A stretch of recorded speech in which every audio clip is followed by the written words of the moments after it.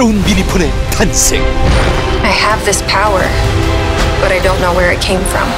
I've never seen anything like her. 마침내 모습을 드러낸 가장 특별한 퀴즈폰. 빠르고 정확한 실시간 위치 전송 서비스. 유해물로부터 지켜주는 안심 차단 서비스. 네이버 팝하고 사전 앱으로 학습 지원. 히어로의 새로운 이름 미니폰. 오직 SK텔레콤에서만.